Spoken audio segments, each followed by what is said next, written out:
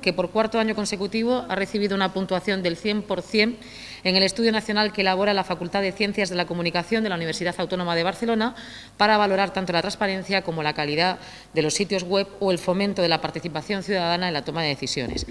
Resaltar que se trata del estudio más riguroso que realiza una institución en España para evaluar esos parámetros de transparencia y fomento de la participación ciudadana, evaluando a más de 8.000 ayuntamientos de nuestro país. Por tanto, es un motivo de orgullo y de felicitación del equipo de Gobierno al trabajo que se realiza a diario en esta concejalía y que hacemos extensible al resto del ayuntamiento porque se consigue esa puntuación gracias a muchos otros servicios municipales que gestionan la información que luego se hace pública a través de transparencia, como los servicios del Centro de Proceso de Datos, de Contratación y de Administración o el Gabinete de Comunicación, de Prensa y Protocolo de nuestro ayuntamiento, por citar algunos. Son deportistas que suelen recibir el respaldo de eh, federaciones, de patrocinadores, del Consejo Superior de Deportes, pero que sus carreras suponen grandes renuncias y muchos gastos.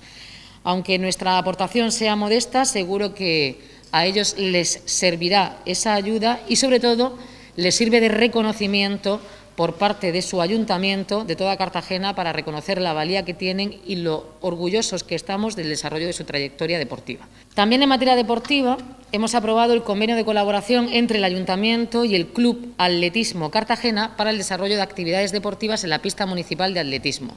Es una subvención de 20.000 euros con el club que asume el coste de las pequeñas reparaciones, así como el uso, la custodia y la adecuada conservación del material el mantenimiento y la limpieza de las instalaciones. La pista de atletismo, además, en la pista de atletismo acabamos de iniciar los trabajos previos para las obras del retoping, que se van a realizar este mismo verano, por valor de 132.100 euros, como primera parte de la reforma integral que se va a desarrollar en la instalación, con la inversión tan importante que queremos recibir, que queremos eh, realizar en la pista de atletismo durante estos cuatro años de, legislatura, que saben que el proyecto es una reforma integral de la pista de atletismo. La segunda fase del proyecto alcanzará posteriormente cerca del millón de euros de inversión y en estos momentos pues no solamente hemos hecho algunas adecuaciones en estos años, sino también eh, la actuación tan importante en la primera fase que es la del retoping. Decir también que en materia de servicios sociales hemos aprobado un convenio entre el Ayuntamiento de Cartagena y la Comunidad Autónoma para destinar dos millones de euros a la atención primaria en materia de servicios sociales,